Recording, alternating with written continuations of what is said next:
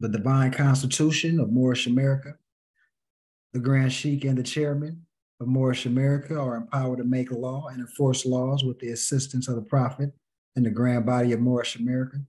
The assistant Grand Sheikh is to assist the Grand Sheikh in all affairs if he lives according to love, truth, peace, freedom, and justice, and it is known before the citizens of Moorish America. All meetings are to be open and closed promptly, according to the Circle Seven in love, truth, peace, freedom, and justice. Friday is our holy day of rest because on Friday, the first man was formed in flesh, and on Friday, the first man departed out of flesh and ascended into the Father God Allah. For that cause, Friday is the holy day for all Muslims all over the world. Love, truth, peace, freedom, and justice must be proclaimed and practiced by all citizens of Moorish America. No citizen is to put in danger or accuse falsely his brother or sister on any occasion at all that may harm his brother or sister because Allah is love. All citizens must preserve these holy and divine laws, and all citizens must obey the laws of the government because by being Moorish American, you are part and parcel of the government and must live the life accordingly. No organization of Moorish America is to cause any confusion or to overthrow the laws of the Constitution of the said government.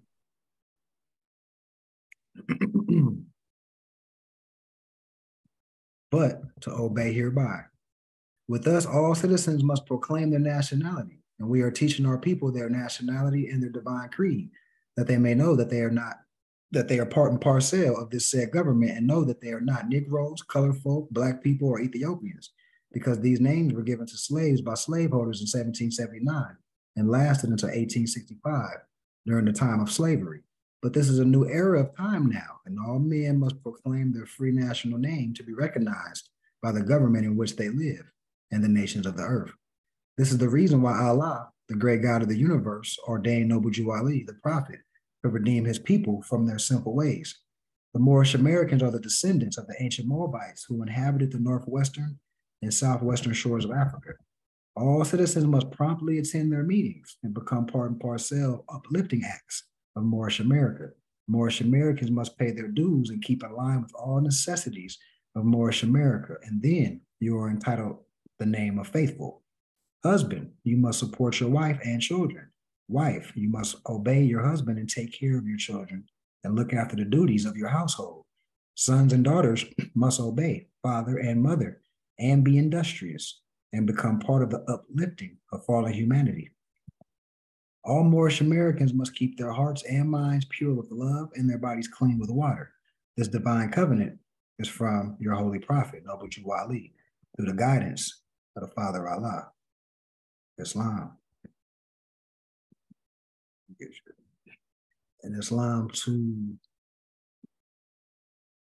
Shuja El, Islam to Jerry Bey, Islam. Islam to Bennett Bey.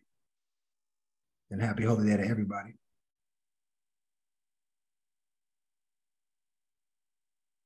Islam love, one peace and love, y'all. Happy holy day. Islam, happy holy day. Brother Bennett Bey, Islam, happy holy day.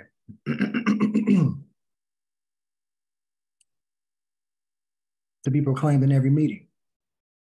I'm glad to know that I have a few faithful Moors among you all, and I desire for them to know the truth and divine truth. There is a host of jealousy about me in the movement now by the same people of our side of the nation that claim it was only a joke and unreal. But now, since they have found out from the government officials in the nations of the earth that this is the only sole foundation that all Asiatics must depend on for their earthly salvation as an American citizen, they are working every scheme that they can to disqualify me so they themselves can take charge of the situation. I have notified all these things to you long ago in the past. It is through the faithful Moors that contribute to the movement and uplifting funds. The ones that pay their divine respect to me in the movement will be remembered. That is why I'm calling on all faithful Moors to increase their faithfulness to me, your prophet, and your divine Moorish movement. I need finance and I need it bad. Never before have I needed finance as badly as I do in the present, that I may shove aside the discord that is facing the nation. It all comes through jealousy because of my fame and nobility. The nations of the world will not recognize the movement without me, the prophet, being the head. It has been proven by my work, in which I have performed in the last few months, because I was at the governor's inauguration to represent the Moorish Divine and National Movement, and I will be at the inauguration of President Hoover for the same cause. Noble Drew Ali, Islam. Uh, Brother Salim, you got it. Islam. Islam. Uh, Happy holiday, nobles. Peace and love, man. Happy holiday, Noble. Islam, Holy Quran, and the Moorish Science Temple of America, divinely prepared, divinely prepared by the Holy Prophet Noble Drew Ali, by the guidance of his Father God Allah, the great God of the universe, to redeem man from his sinful and fallen stage of humanity back to the highest plane of life with his Father God Allah. Islam, Islam. We on chapter, we on chapter 10. We on chapter 10. Jesus spake on the unity of Allah and man to the Hindus. Benares is the sacred city of the Brahms, and in Benares, Jesus taught. Udraka was his host. Udraka made a feast in honor of his guests, and many high-born Hindu priests and scribes were there. And Jesus said to them with much with much delight, I speak to you concerning life, the brotherhood of life. The universal Allah is one, yet he is more than one. All things are one. By the sweet breath of Allah, all life is bound in one. So if you touch a fiber of a living thing, you send a thrill from center to the outer bounds of life. And when you crush beneath your foot the meanest worm, you shake the throne of Allah and cause the sword of life to tremble in its sheath. The bird sings out its song for men, and men vibrate in unison to help it sing. The ant constructs its home. The bee its sheltering cone. The spider weaves her web, and flowers breathe to them a spirit and their sweet perfume that gives them strength to toil. Now, men and birds and beasts and creeping things are deities made flesh. And how dare you kill anything? It is cruelty that makes the world arby.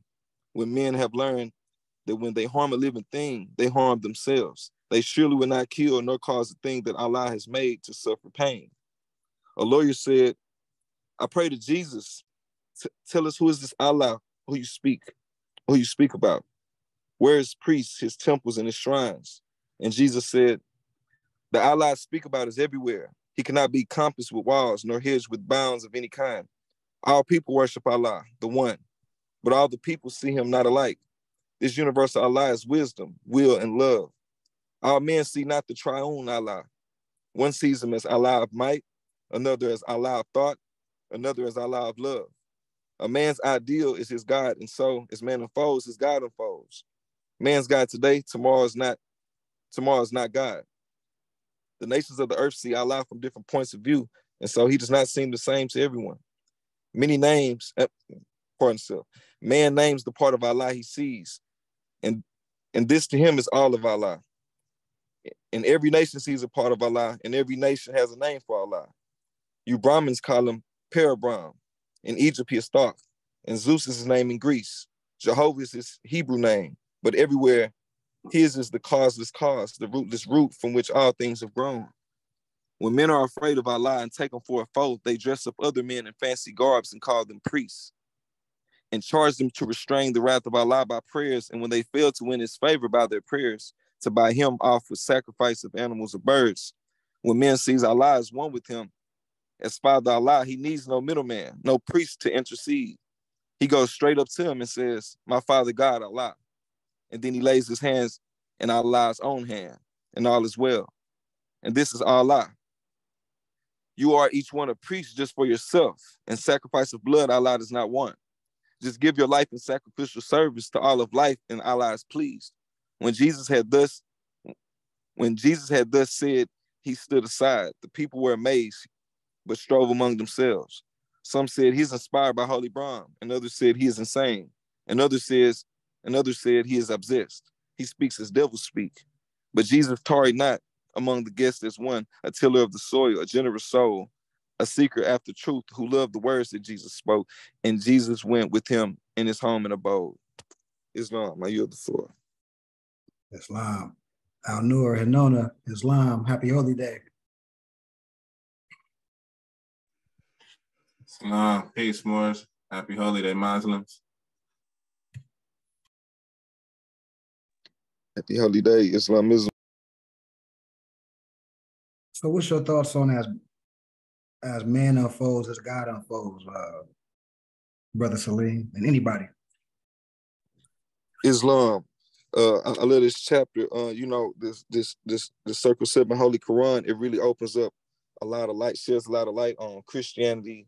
You know, uh, uh, Mohammedism. You know, to the extent where we go to church and we learn. You know, church, school, all this type of stuff. What we think about God, what we think about Allah. You know, like I'd also say, you know, God is every every, every God is in every single every single person praises the same God. All these people, you know, praise the same God, and all we see is a lot of uh, uh, division, you know. But it's crazy that the the actual essence of God, you know, like they say, uh, when our men are, uh, they dress up other men in fancy garbs and call them priests. So it's crazy that you know the main thing we we do is go to church and go to the pastor. You know, uh, you know when we was younger back in the day, and it's and it's, it's really he, he's really like a, a, a distraction. He he he's not the one to intercede. This is this is uh, he's not even supposed to be uh, uh, no middleman, no priest to intercede. Like we don't even need that middleman. You know, it's that that temple that us that us as people are. You know, we the temple, we the church.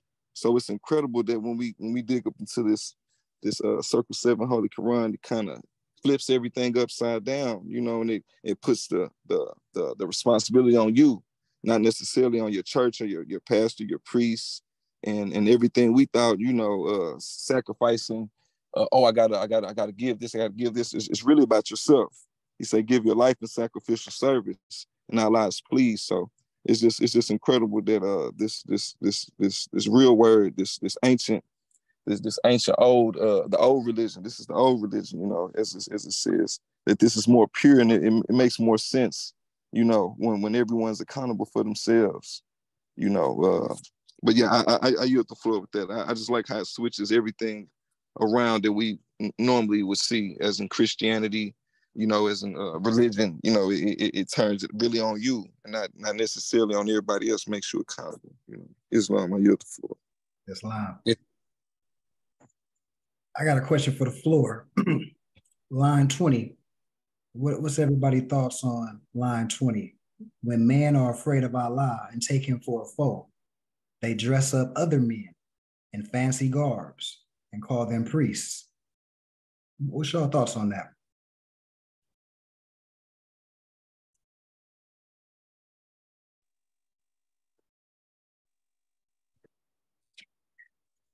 Um, if I may say, I feel like that's what's going on right now in the world. You know, a lot of uh, false prophets and false holy men, like in the Vatican and in Israel. You know, when once they get caught, once they get caught doing blasphemous things, they really don't get punished or persecuted just exiled to their what's it called their their um protected land like they'll either send them to the vatican or israel not really you know they're it's a big fraud bro mm-hmm. all right islam anybody else had any thoughts on line 20 say not not teaching the true uh, teachings of Jesus or justice, like not really wanting justice. So they like set up the devil, you know, like, hey, this is who you need to pay attention to instead of, you know, Jesus, like worry about what Satan. So the devil's gonna do. So they dress up, you know, Jesus or whomever it may be in whatever school of thought and teach that and call them priests. There's priests out there, preachers, holy man, you know, Brahmins, whatever you want to call them, but you know, they set up, you know, opposite of the the polar opposite what is So, you know, do it be no Ali, they would, you know, say the quote unquote white man. You know what I mean? But the focus is the quote unquote white man of modern European is what Noble Ali brought. and can't focus on what Jesus brought because they're like the devil's around the corner and you keep praying. So that's what I take from it. And that being afraid of Allah, or you know, the higher self is letting the lower self keep conquering, you know, letting the higher self, you know, be be afraid of elevating yourself. So internally you're afraid of, you know, being who you are. So you revert to what's normal, what's natural. So it's hard, but you gotta fight that foe, is the flesh. So you read a line to yourself, accepting the lie from others lying to yourself. So you dress up the holy guy and toss all your worries on them, or maybe know Ali. You, know, you don't take it. You just know Ali, know Ali, and not practice it in, in public and so. But I yield, but that's what I think. That's fine. Any other thoughts on line 20? The meaning of foe. Does that mean enemy or competitor? Yeah, enemy. Enemy, Hmm. opposite. Mm. Yeah. You ever heard that term friend or foe? So foe, Mm-hmm. foe would be the opposite side of the spectrum. Okay. Mm-hmm. I got something to say too about what uh, Brother Salim said. What's it called?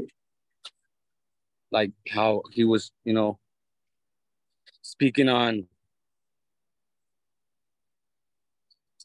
sacrifices. Sacrifice doesn't have to be mean uh what we're you know accustomed to think it means. For example, we can uh sacrifice ourselves and our lives to serve Allah, not necessarily meaning we gotta die for our people, but sacrificing in a way where you're not just selfish all the time and you're actually doing something and living for the people. Mm-hmm. Islam. Islam. Islam. Um, Yelly Belly, Islam, happy holy day. Happy holy day, Islam. so I apologize, I'm um, tapping in a little late. Islam. Islam, good, good to have you, Islam. Thank you. Thank you. It's a pleasure. Thank you. Any other thoughts on this Quran verse before we transition to Brother Benjamin Bey's presentation?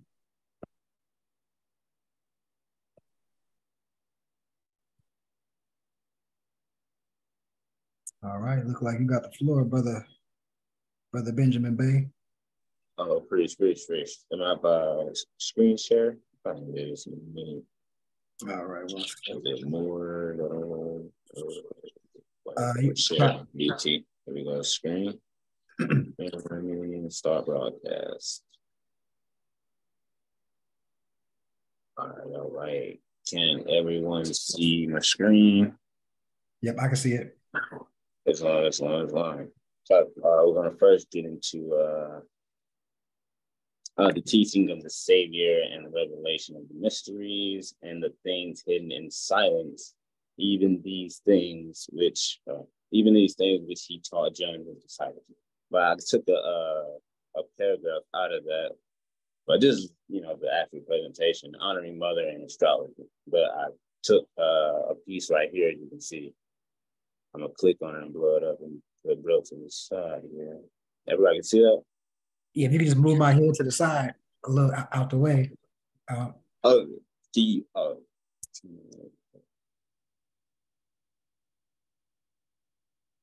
Let me see. Let me follow.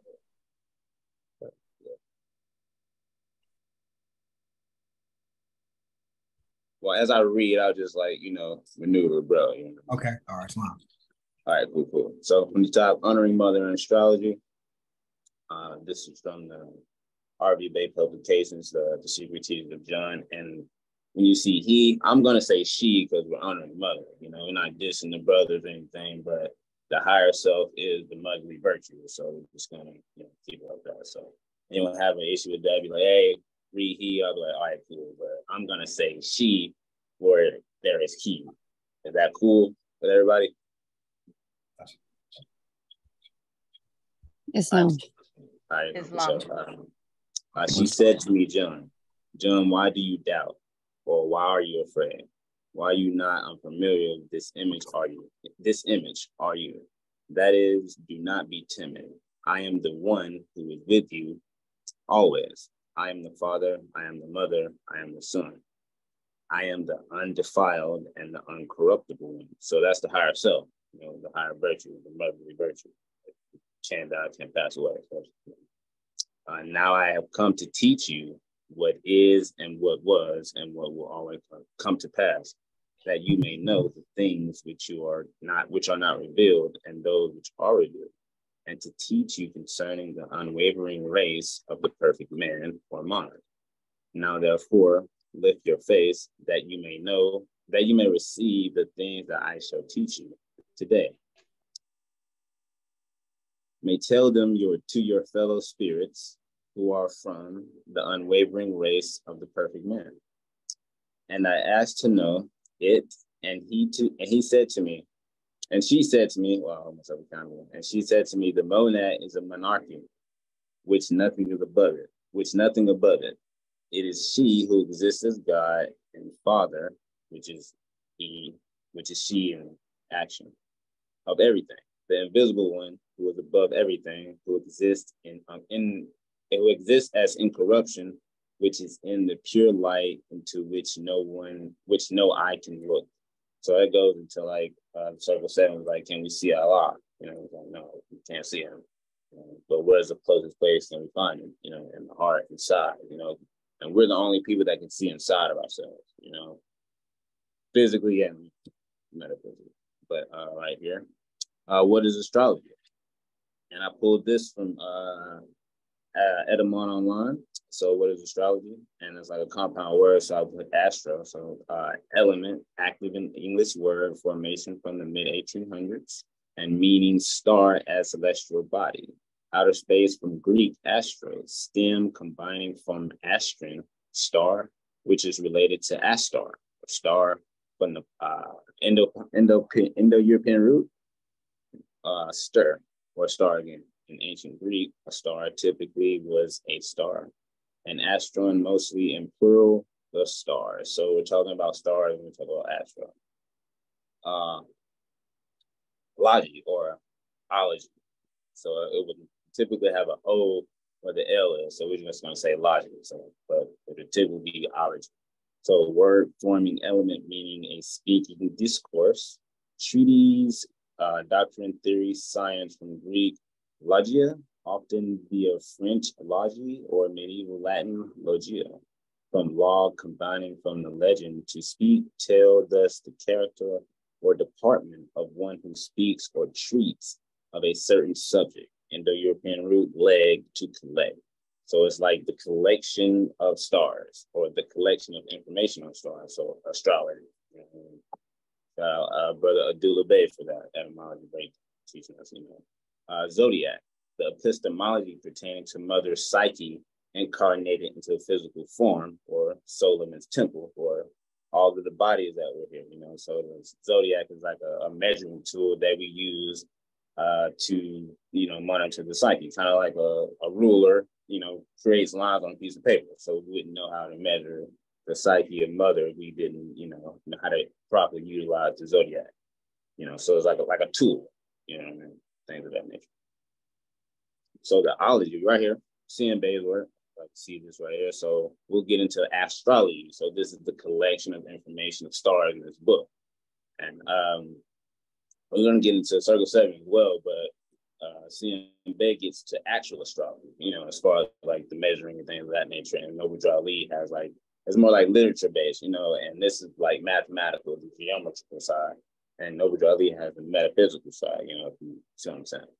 So that's why I put it under astrology. So this is a collection of information of stars. That's what we're talking about. And this is what Sinbei brought to us because he was a great astrologer.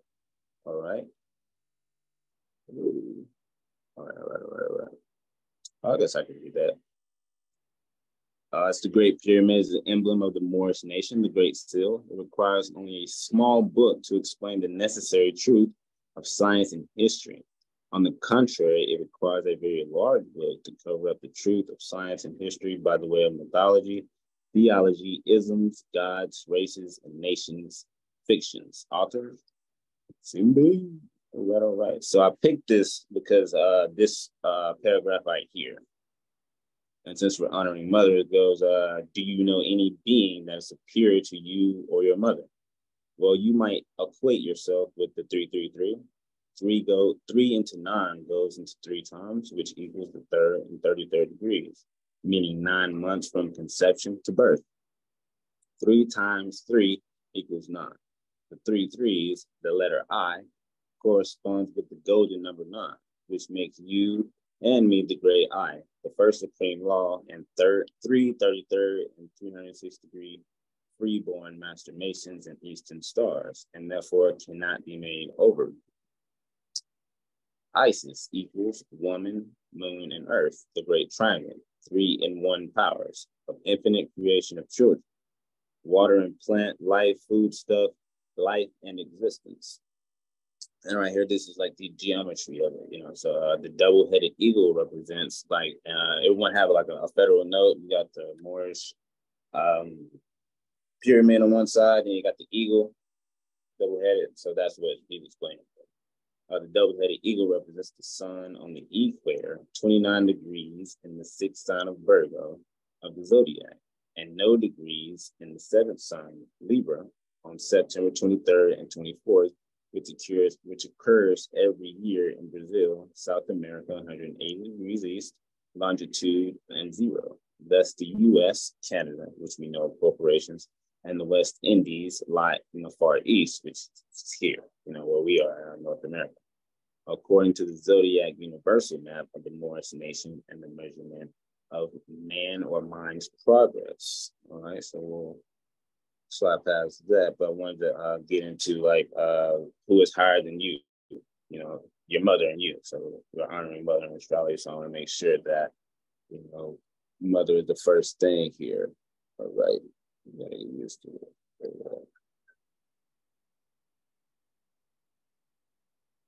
Okay, okay. All right. Right here, the mysteries of Babel, the Tower of Babel. And right here, I got this because we see that modern Europeans or just everyone in general goes back and forth about things. But when we're using the zodiac, we there's no debating. You know, there's there clearly is confusion because if it's like 12 p.m.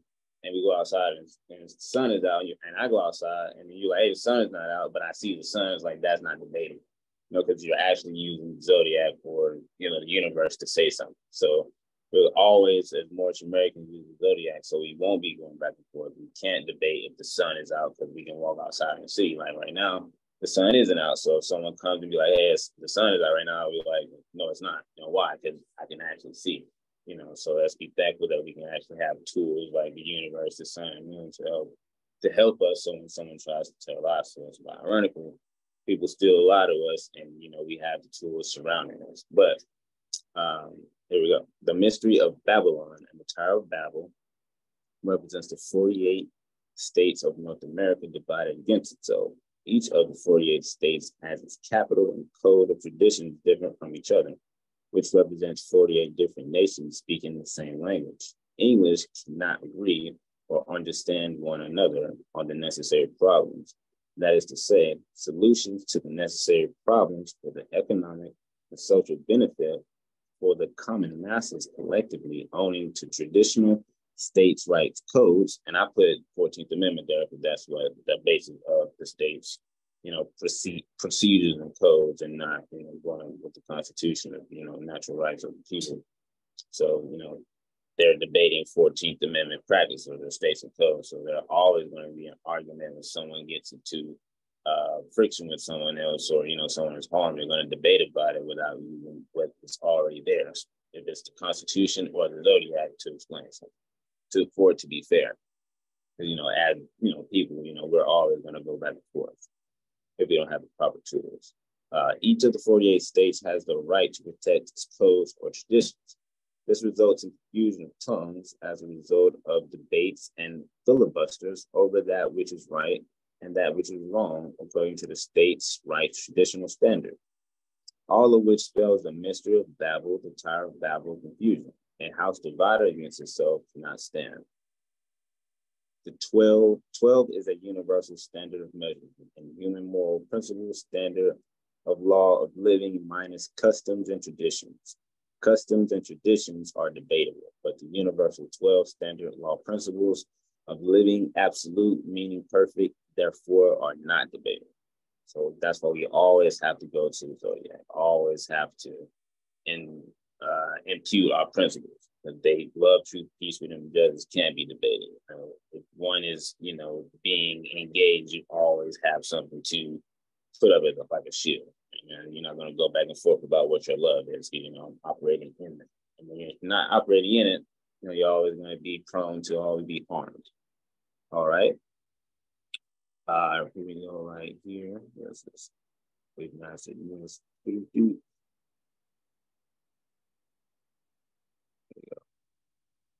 Here we go. One who possesses knowledge of astrology, the zodiac does not have to rely on belief to be saved. Astrology prepares one to be saved by way of knowledge minus belief.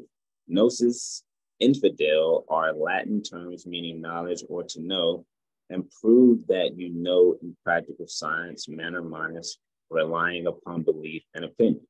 A belief or opinion are, are not absolute sound for ones to rely upon the perfection of the economic and social progress, but the 12 signs of the zodiac comprise the circle of 360 degrees of absolute universal perfection of science of geometry.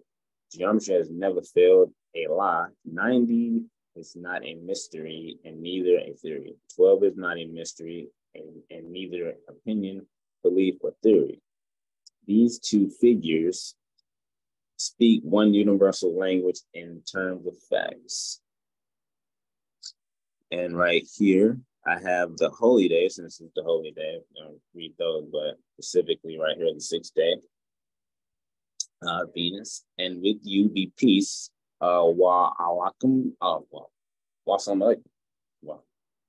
Uh, Morris Latin. Friday is derived from Freya or Frigga, Latin meaning lady of love or woman, the god of creation of suns, unity, music, peace, and enjoyment and rested or relaxed on the seventh day. In North America, barbarian mythology, Freya is phrased in the sixth day.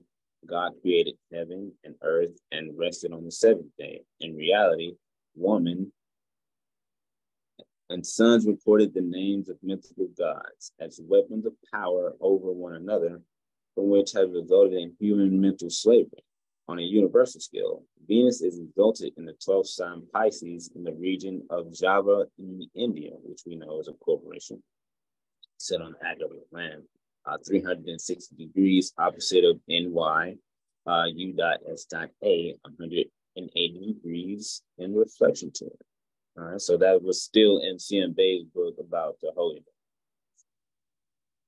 yeah, all right, and now we're getting to basically uh, sidereal astrology, but in the form of how her Venus and Moon rule, and sidereal is basically measuring from Earth to the Moon, and tropical is basically the Earth going around the Sun. So I was like, oh, um, Abdullah is basically uh, describing sidereal astrology by explaining the calendars based on the moon and Venus. So this book, How Her Venus and Moon Rules, explains that.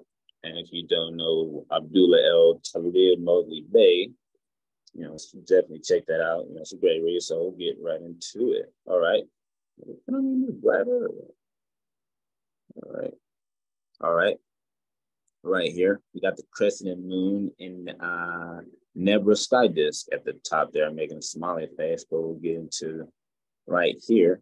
The horns of goats, rams, and bulls signify the lunar calendar or the moon calendar in ancient world, or say the Moorish world, culture.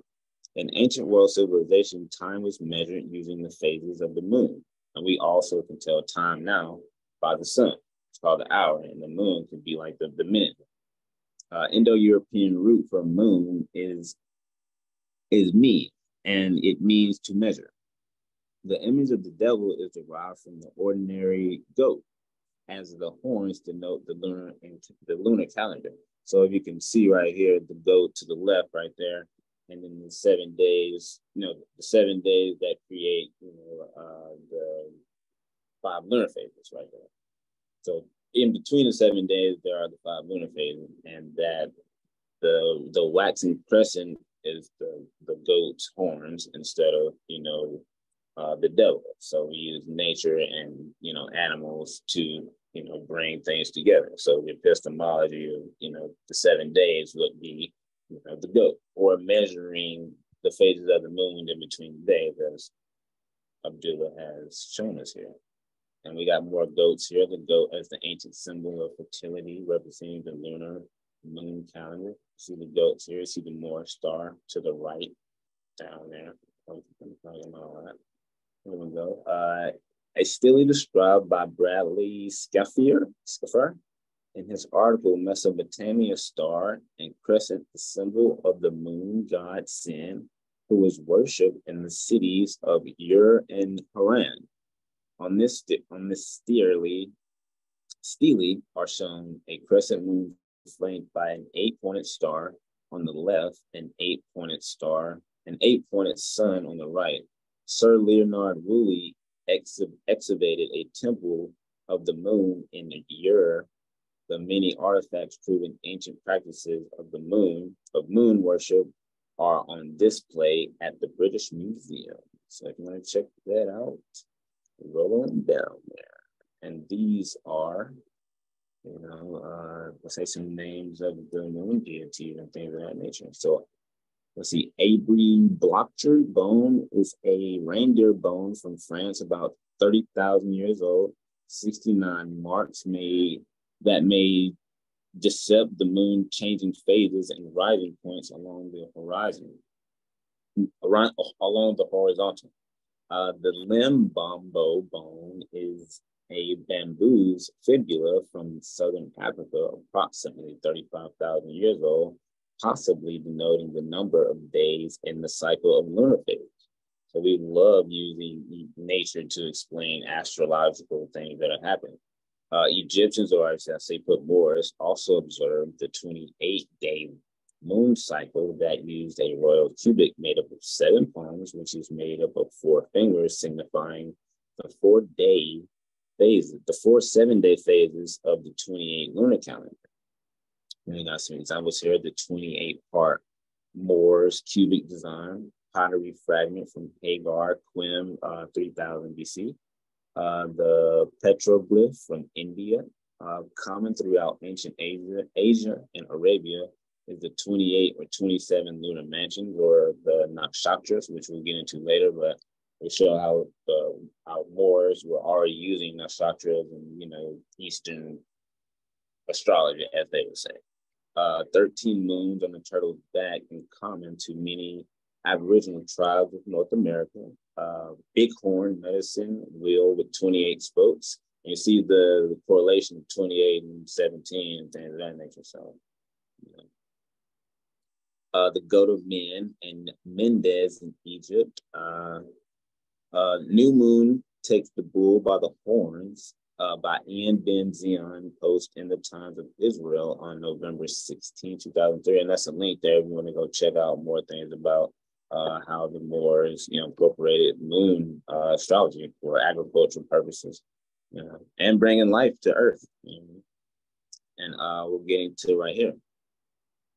In Inanna, Queen of Heaven, Virgin Mary, uh, Queen in Inanna's uh, journey as she descended from the heavens to meet the queen of the underworld. Uh, Quetzalcoatl, um, sorry,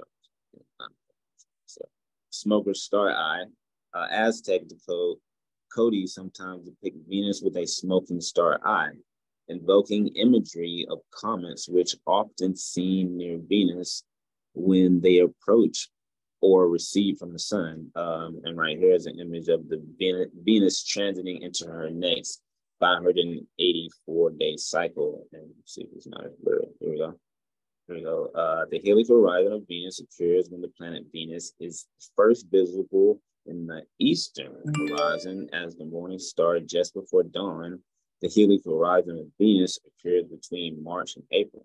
This is true Easter, eastern star, you see the, the star right there upside down. And uh, the heliacal horizon of Venus occurs when the planet Venus is the first visible star, uh, vis- yeah, first visible in the eastern horizon as the morning star just before dawn. And here's a, a better, you know, picture of the lineup or alignment of the sun right there in the middle and Venus and the Earth, and it creates the actual star that you know, we have on our flag. I have an emblem here that has the same thing. So the circle right there would be the sun, and the side of it would be direction.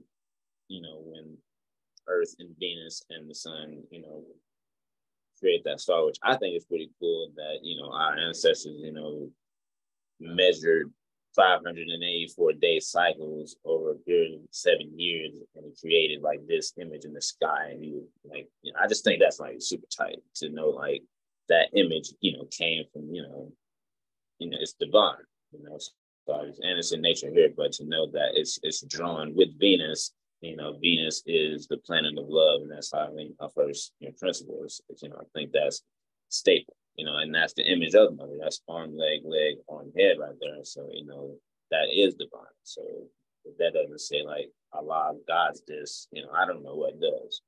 But moving along, right up here, we'll show the Rosabella.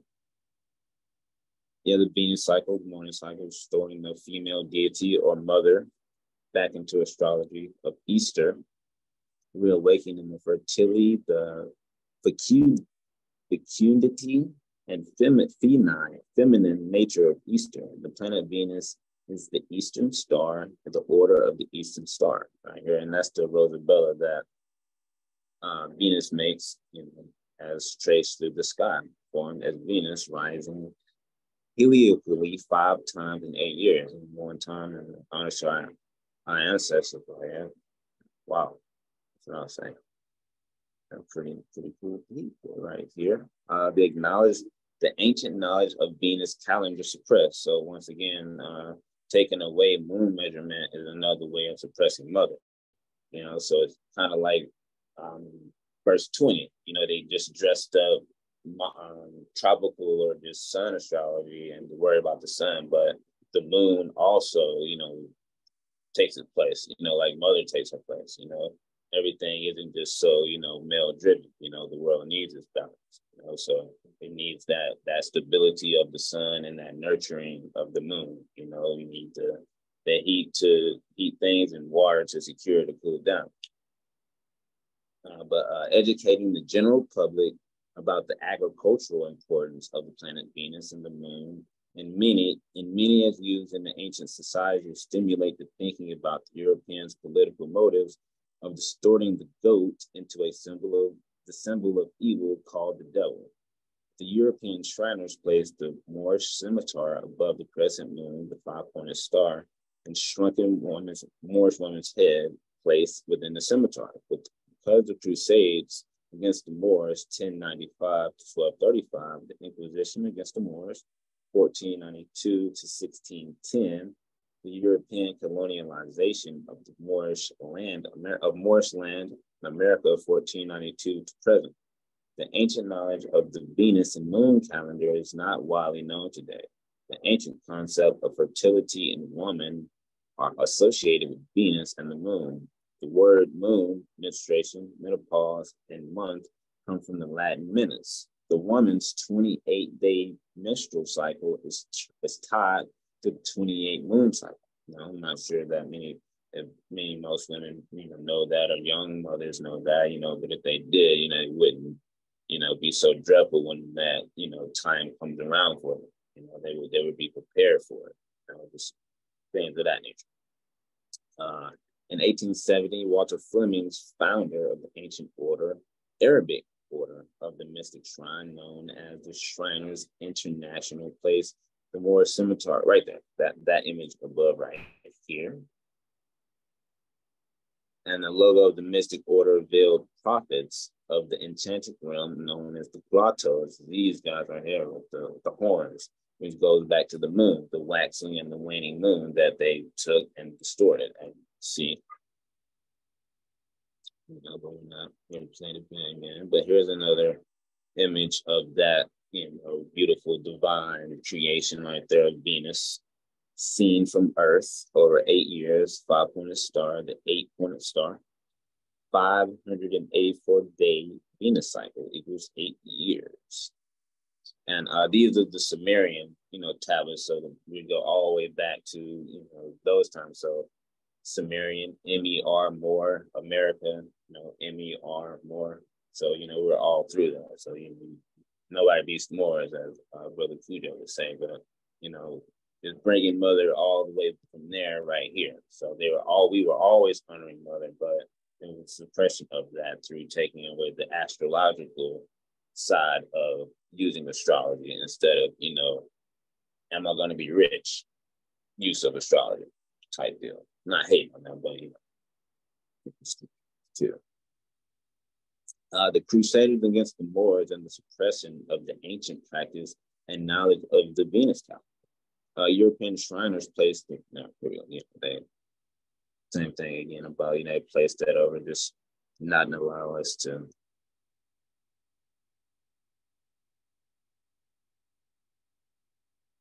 Right.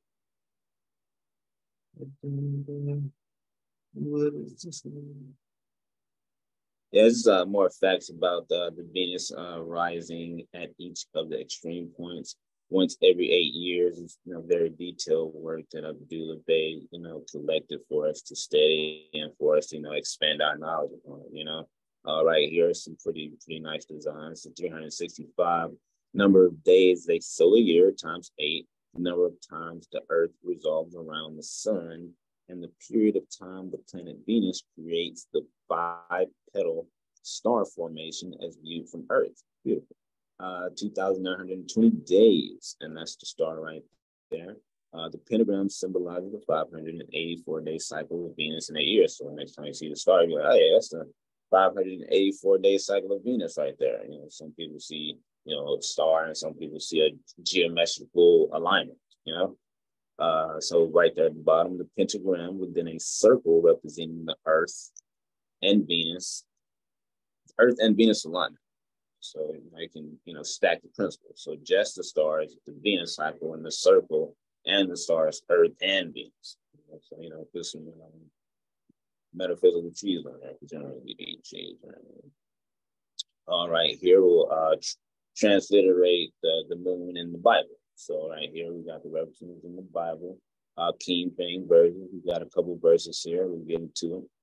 Uh, and David said unto uh, Jonathan, Behold, tomorrow. Well, first of all, this is First Samuel, uh, 20 degrees five minutes, or you know, verse 20, or chapter 20, verse five. Um, and David said unto Jonathan, Behold, tomorrow is the new moon, and I shall not fail to sit with the king at me, and let me go, and that I may hide myself in the field unto the third day at even. And then we got Second Kings, fourth chapter, 24, 24, 23rd verse, or 4 degrees, 23 minutes. Uh, and he said, Wherefore wilt thou go to him today? Is it neither new moon nor Sabbath? And she said, It shall be well. What does that mean? So it just means, you know, you know, pay attention to see what, you know, phase of the moon is in and then see if it be well, you know, because the phases of the moon aren't predictable like the seasons.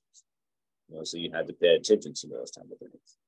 Uh, Isaiah 66, uh, 23, and it shall come to pass that from one one new moon to another, and from one Sabbath to another, shall all flesh come to worship before me. Thank the Lord. Ezekiel 46 and 1. Saint the Lord God, the gate of the inner court that looketh toward the east shall be shut the six working days, but on the Sabbath it shall be open. In the day of the new moon it shall be open. Uh, last one here, saying uh, Amos 8 and 5, saying, when, when will the new moon be gone that we may sell corn, and the Sabbath that we may set forth wheat making the ephah, uh, small and the shekel great, and the falsifying the balances by deceit. All right, here we got Jesus, sun, the devil, moon, are not enemies, analyzing two different ways to measure time. So that goes to chapter 20 again, dressing up, you know, the moon as the devil, you know, making the sun, you know, the thing to worship. It's just a, a different way to tell time. You can tell time by using Jesus or the sun, or you can tell time by the moon or the devil, which is kind of wild, but you shouldn't say the devil, but you say the moon. When you want to plant things, you use the moon. You know what I mean? You want to see what season it is for the next 30 odd days, see where the sun is. You want to see what, what's going on in the actual day and time, you know, check where the moon is. Uh, right here, I've got this because it's the picture of sin, which is the moon right there, and the picture of Jesus, which is the sun.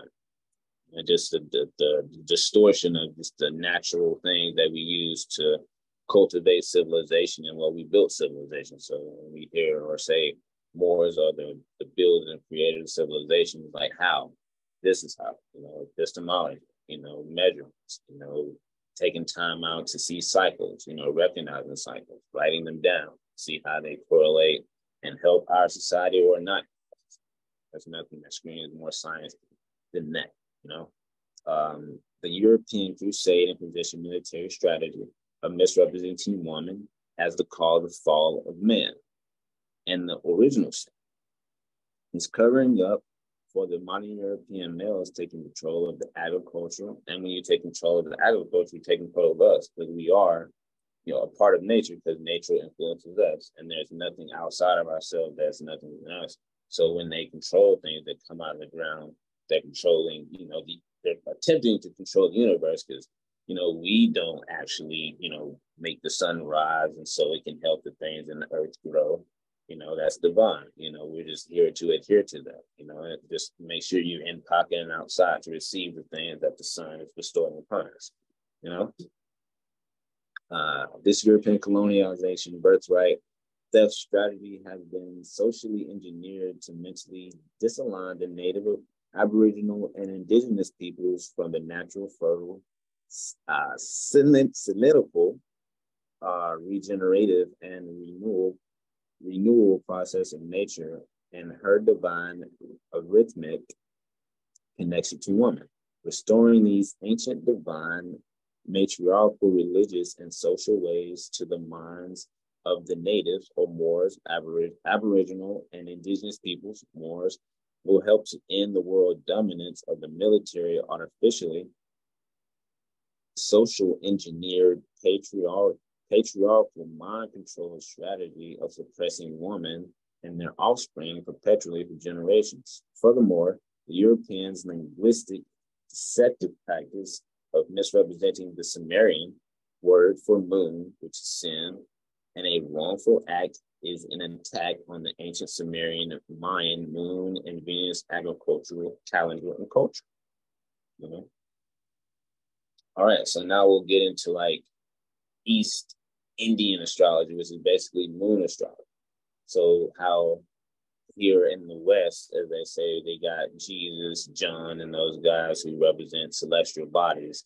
The same thing happens in Vedic astrology. Vedic, you know, we'll get into that.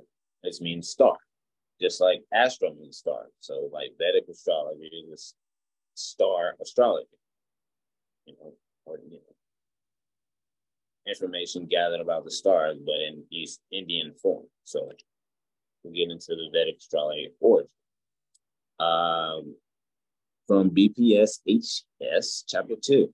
Uh, the unborn Lord has many incarnations, uh, just like we do, but we don't remember. Uh, he has incarnated as the nine Nava Grahas.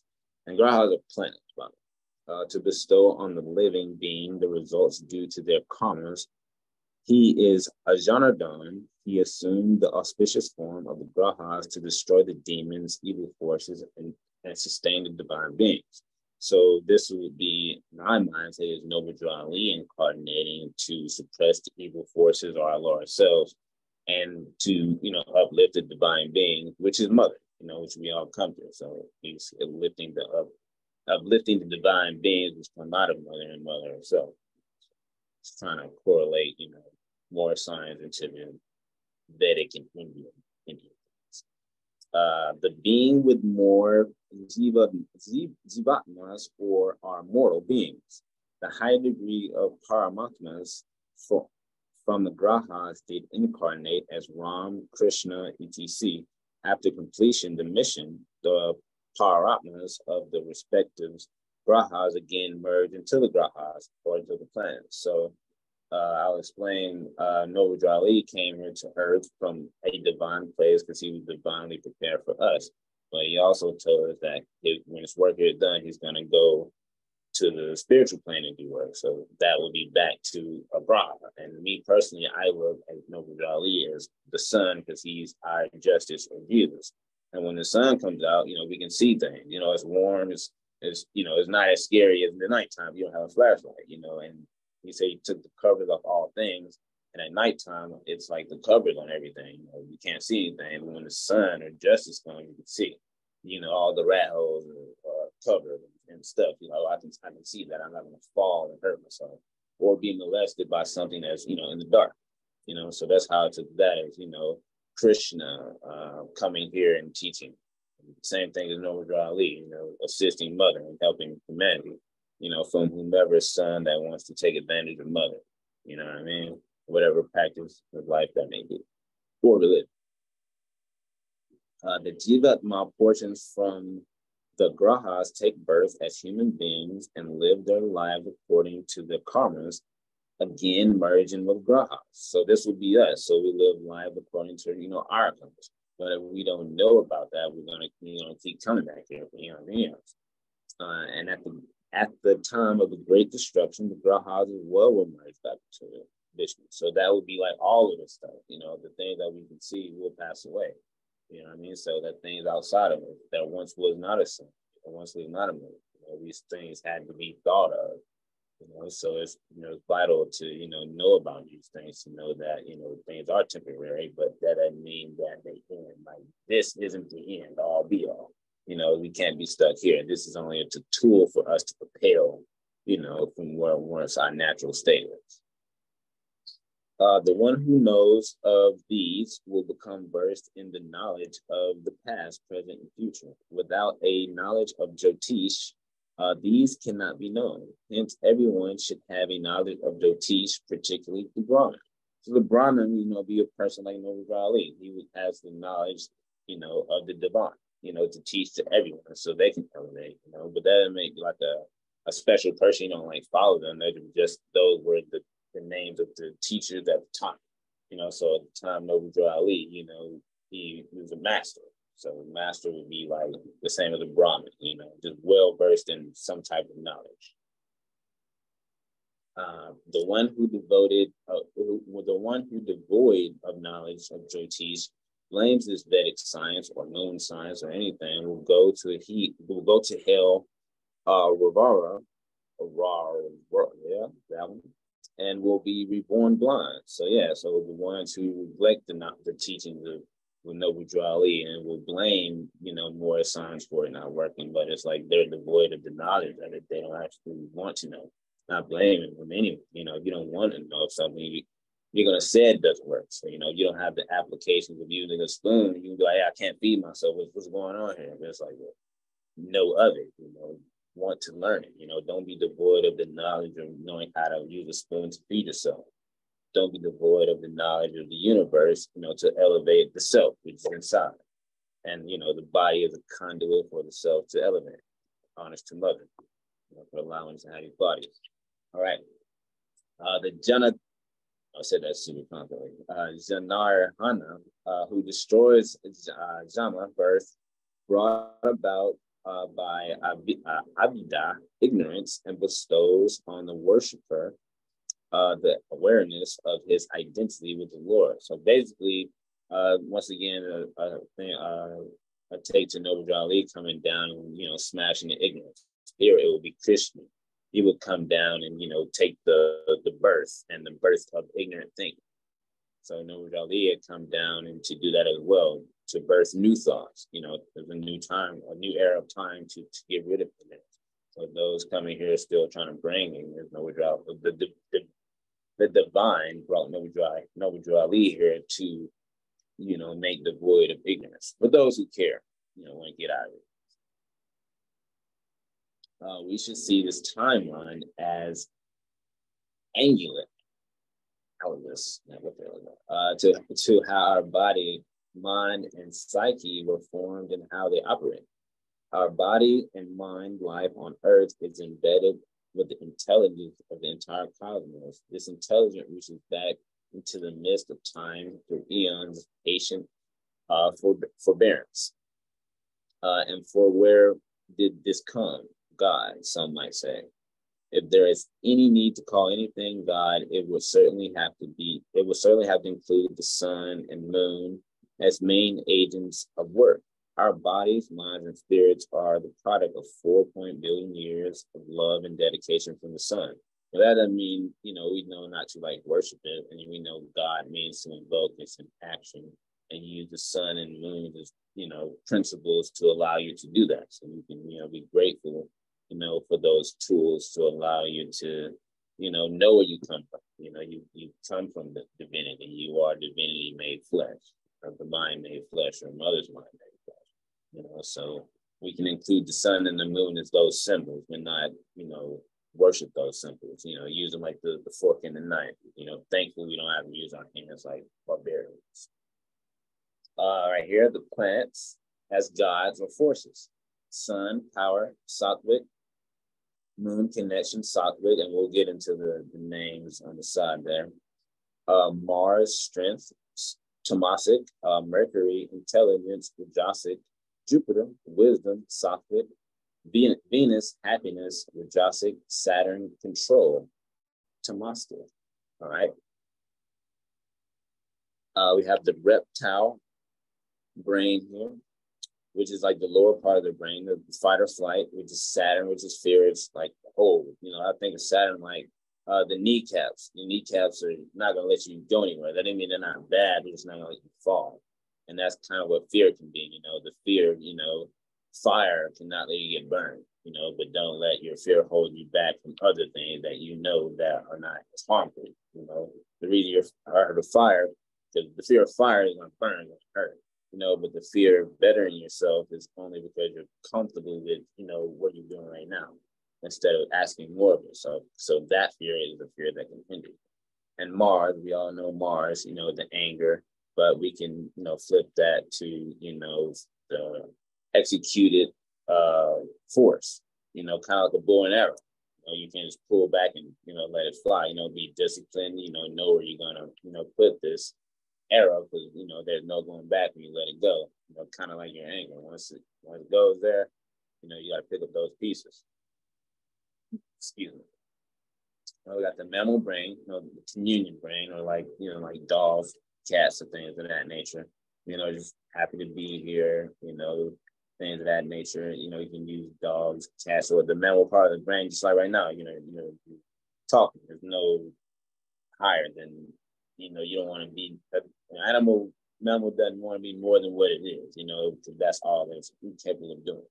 So the human brain, evolution, or I was saying the neocortex, because animals don't have a neocortex brain, so I'll look at the human brain or the sun and the moon, you know, the the un the the unconditional planets that that give, you know, the sun is sustainable. It's, it's always gonna, you know, shine bright and give, you know, it's and the moon is gonna reflect that. And we don't get a, a lot of, you know, energy or can see the other planets because they're kind of kind of distant, you know, but the sun and the moon are closer, kind of like, you know, how we use the right and left hemisphere of our brain, but the other parts of our body, you know, we use as well, but they're not like close. Like our stomach, like way down here, but we still can feel it, you know. But we have to be up here first. You know what I mean? Things of that nature. And this is a oh wait, hold on. Yeah, right, right. Because I have some things written now. I'm about to say, here you go. Keep it like this. Everybody can still see this? Uh, Vedic astrology, right here, have the definition for Vedic. Uh, literally, knowledge, understanding, especially sacred knowledge, from root, vid, to know, uh, modern European root, uh, weed to see. And we just went over those, you know, pictures right there. I had uh, notes in between that I'll read here, the meanings of them right here. Um, so the meaning of the picture above, right here, the 813, uh, means that the, the divine beings such as Vishnu, or Moors' case, Noble Drew Ali, takes form as a graha, a planet, and merge back into the graha planet when they meet when they're done with their work here on the earth plane. Noble Drew Ali told us as he was doing his work on the spiritual planet. Uh, for right here, uh, the planets themselves are the spiritual or the physical incarnation of Lord Vishnu or Mother, the visible form of the celestial energies of Mother, whom we all come from. Planets incarnate from dark matter of the universe as Moors incarnate from the dark divinity within our mother's womb. Uh, in Sanskrit, the word Jyotish, translated as science of light, which you know is a star, was a star, uh, refers to the profound and mathematically sophisticated form of astrology originating in ancient Vedic traditions of India. Sometimes known as Vedic astrology, Jyotish describes the planetary patterns at the time of our birth and can give us a valuable clue, valuable clues to understanding our life's journey through careful analysis of these cosmic influences. I'll refer to the circle seven and clock of destiny to gain knowledge of self using the Moors zodiac. Being void of the knowledge of the Moors zodiac or energies of mother expressed in the universe, then one will blame life for things not going as one thought it should. So that's what we're saying right here, the one who's devoid of the knowledge of Jyotish. And we look at Jyotish as the circle seven or the clock of destiny. So if you're devoid of the circle seven and the clock of destiny in these times, you know, you know off the deep end, you, you go, you know. Uh, we got Lord Vishnu or son sent by mother to uplift the consciousness and kill ignorance, as Noble Drew Ali was sent divinely by mother to uplift the consciousness and of humanity, which is her mother. Uh, the planets are responsible for creating everything and are the forces of the universe that have been here for billions of years in the divine dance, guiding humanity and tracking the evolution of humanity. All right, here, the that's what I was looking for, the explanation of the Sattvic. I see uh, Sattva right there as a typo on my behalf, retro retrograde things there. Uh, but Sattvic uh, is a state of mind in which the mind is steady, calm, peaceful. Uh, the name Sattvic implies one who is divine, pure, and spiritual. Sattvic individual always work for the welfare of the world. They're hardworking, alert, and generous. They live life moderately and have good memory and concentration. Sattvic qualities include a leading, chaste life, eating moderately, using precise language, and speaking truths plausibly. So the planets that are Sattvic right there are the sun and uh, Jupiter and the moon. Like we said, you can look at the moon and the signs of mother and the father and Jupiter's uh, grandparent. Those people tend to give, you know, unconditionally. The father is always going to come and provide. The mother is always going to come and give that nourishment.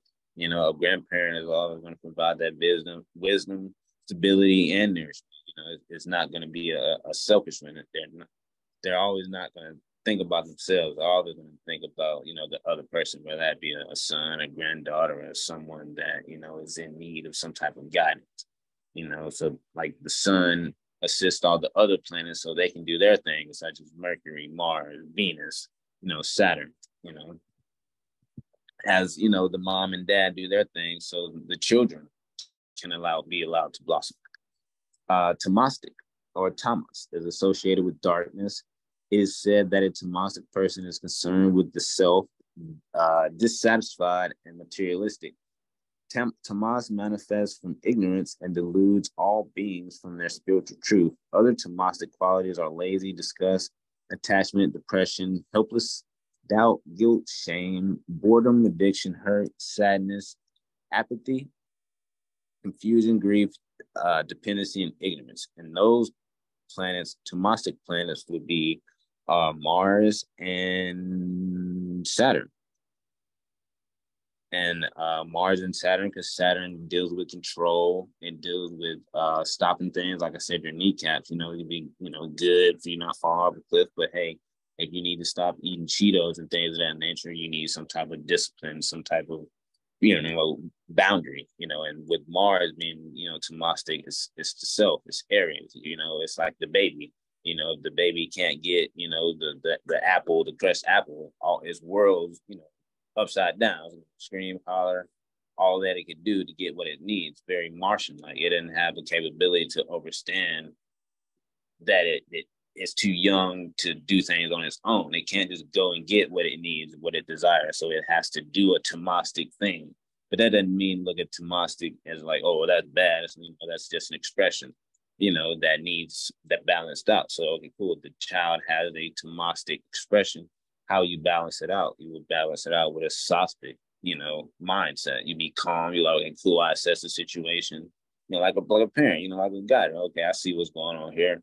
Boom, here you go. And the tomaticity goes down. I, I probably made tomaticity up, but you know, a tomasic moment can be balanced out with a Sophic, you know, mindset. And right here, uh, the last one, uh, we have Jostic is a state of energy, action, change, and movement. The nature of rajas is attraction, longing, and attachment, and rajas strongly bind us to the fruits of our work.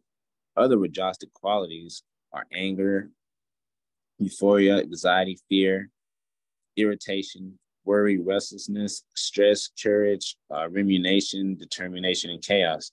And the plan- planets that are rajastic are Venus and Mercury and these things do at work. So we we go to work and buy beautiful things, which are Venus. You know, we organize things.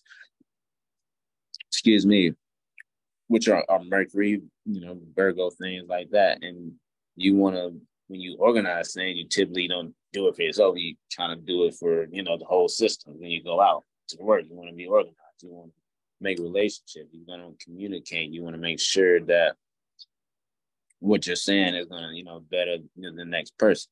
You know, and on the opposite side of that is worry. You know, you can overthink. You know, a Virgo can be very analytical, and on the opposite or the reflection, Pisces can just look over everything. So you have to have, you know, a balance. You know, sometimes you need a rejo- uh, Tomasic mindset when dealing with rajastic things. So you need a, a kind of a shrewd or or or some energy or direct point sometimes so you don't get too restless. You don't get irritated or have anxiety or or you know get shaken up and then become angry. You know? So overall, you know, try to balance all of your Tomasic and Rajastic, you know, things that happen in life with a Sattvic mind, you know. So always think sun and moon and you know Venus, Mercury, and Saturn things that happen. You know, those are tools to help us you know, the tools that mother and father gave us so we can, you know, operate and, you know, balanced out here. And speaking of balance, we were talking about the brain and the evolution of that. And right here, this picture is basically the zodiacal, the sidereal moon measurement of astrology and tropical sun-based measuring. So the earth is in the middle and the 12 triangles around the earth would be the 12 solar zodiac signs, such as, you know, Aries, Libra, things of that nature, which is, you know, created, you know, by the sun. And the angles and the tilt of the earth and the sun staying in, you know, certain signs for a certain amount of degrees.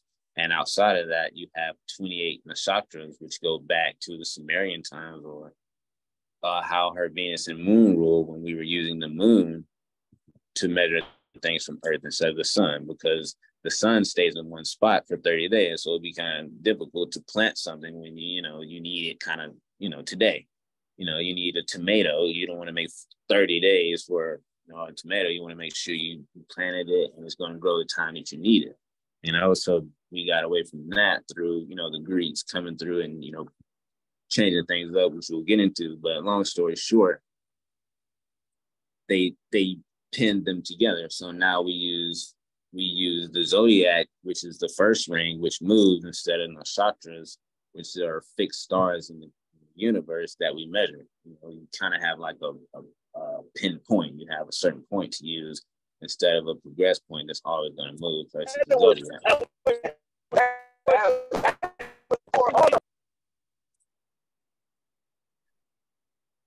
Ma'am.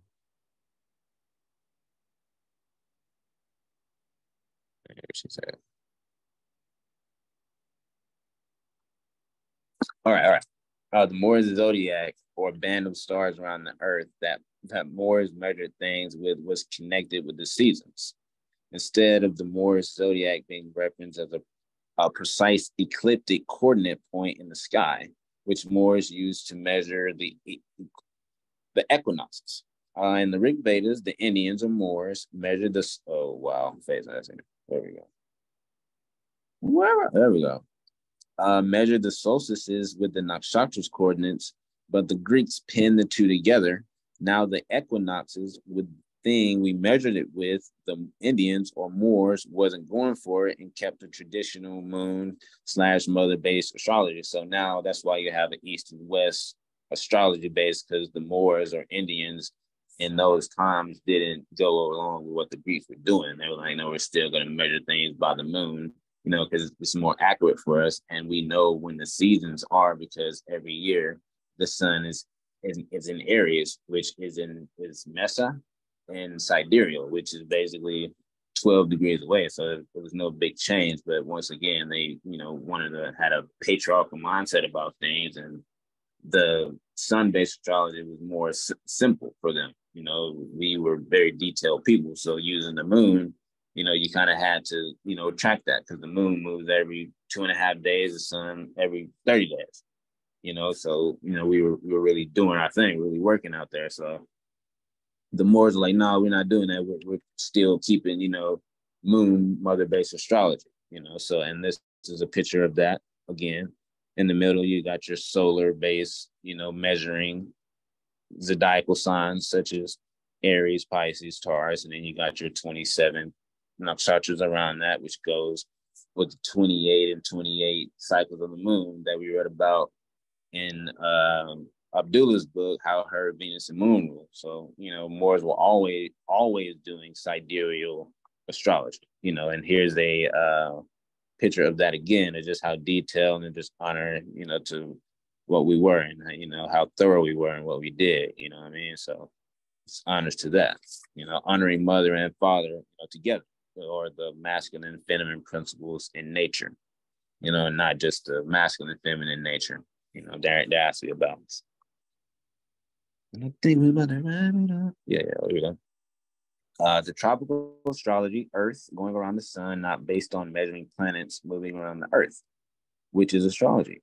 A precise ecliptic coordinate, which is the sidereal or moon measuring based uh, zodiac, which the Indians or Moors, and we to say Indians because reading um, they they're saying Indians, but you know I, we know it was Moors uh, conflation conflation's idea of putting the seasons on the earth to the planets moving around the earth.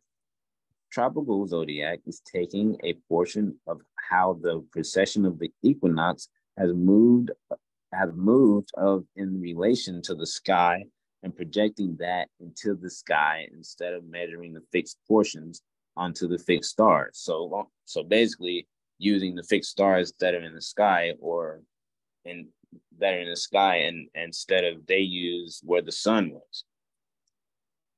That makes sense. It's like they like the the nowhere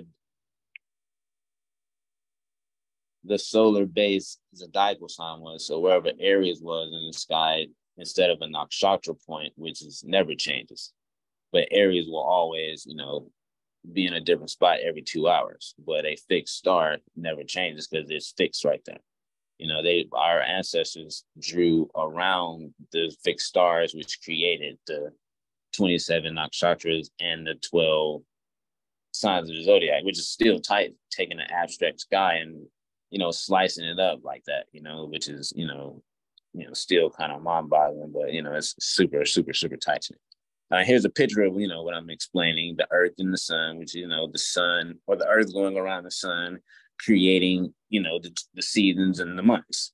And the cosmos or the fixed stars and the planets and the universe again, creating the measuring tool. So you got the zodiac, the band of stars, you know, and the fixed stars within those stars, and you're measuring that from Earth, you know, to get you know what you need, information and whatever cycle.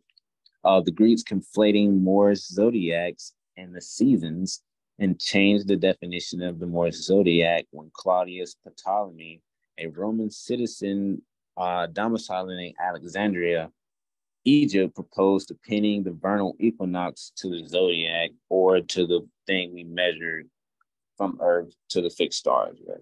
You know, so basically uh, suppressing moon-based astrology and only using the sun to measure things and not using the moon to measure things. And as more as we were 306 degrees of knowledge, so we used both.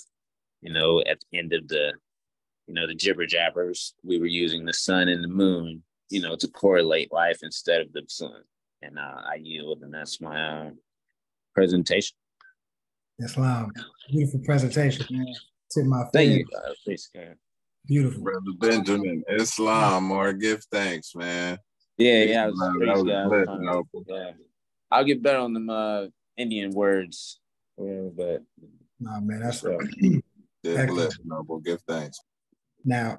I wanted to dialogue with some things that you said, man. Uh, first, you was like moon means sin, right? yeah, So it took me to the Bible where it talks about Mount Sinai, Mm. Sinai, which essentially means the temple, the temple of the moon. oh yeah, You know what I mean? That's what my mind. and pineal, you know, Yeah. the, the actual pineal, Mhm. and So- would uh, would that be right hemisphere, like sin, like Jachin and Boaz, like the moon and the sun? So sin would be like the divinity part of the brain, and then the sun would be, you know, the logical X's the nose. You know, like I feel it in my gut, or like, no, I need to know. Like I need to have a phone call. It's like, no, just you know, go with your move type deal. So Right, right. yeah. You know what I mean? And uh, that's what uploaded. That's right in the Bible, Mount Sinai, Temple of the Moon is right there. And, and you know, Yeah. temple, of the Moon and Sun is in America. You know, so Yeah. And uh, Samaria, the templates, the Sumerian uh, t- templates had the actual sun and moon thing right there as well. So, Mhm. and, And, that's uh, interesting on the sun because the, the sun doesn't set or rise on the Moroccan Empire. I'm probably butchering that, but you know, I've seen the sun and the moon in the sky at the same time here. I don't know if everybody ever seen that, but yeah, yeah, like a couple months ago, about four or five, I seen it. Yeah. Um, yeah, that's very well. And then another thing you said, as far as how Friday goes to the Latin Fria, which so basically Friday means the Lady of Love. Yeah. That was fire. that was fire. Man. Yeah. Honestly, uh, Abdullah Bey, because he's like, he break it down so like wild in the language, take you there. So you know multiple languages. You're like, oh wow, this means this. Right. French more means love. Yeah, man. Yeah, that's a excellent presentation, man. Uh, any, any of the Moors in here got anything? That's It was that long. I appreciate it. I heard someone say something in the chat. Yeah. No, that's putting them fire signs up. Oh yeah, one when I first started like studying, it was like I would say a beat between Western astrology and Eastern astrology, and I was like, oh, I don't always see, but I was I saw the similarities, and I was like, I saw Sumerian, I saw MER, I was like, that's Moorish, and mm-hmm. then Abdullah Bey is always talking about agriculture, agriculture, you know, and how we use Moon and Venus for agriculture and corn, and I'm like, that's it. You know, that's there's no beef, there is no difference. You know, Mhm. Wow. Yeah. That's that's a whole nother level of breaking down the holy day. You know what I mean? And uh, it's another way for us to look at Friday in a different vein. So I appreciate you, man. I appreciate you for allowing me to time. Thank you, Moors, for you know trusting me and to share my little bit that I have.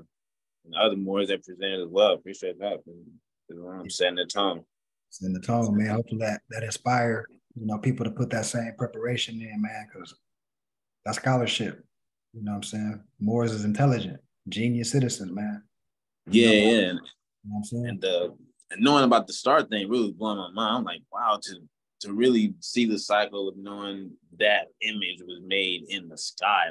Like, Yeah, just the- behind me, right? Just to make that. You know? yeah, it's like a 584 day cycle, which is like eight years. Yeah. Islam. Islam. We got that kind of time on their hand. Uh, thank you, uh, to Miss Jalissa. I've seen that. Thank you all, Moors. Appreciate And um, Brother Bennett Bey, hopefully you got some out that because I know you was asking for some astrology. You wanted to dive in deep into that. So hopefully that hit home with you, brother.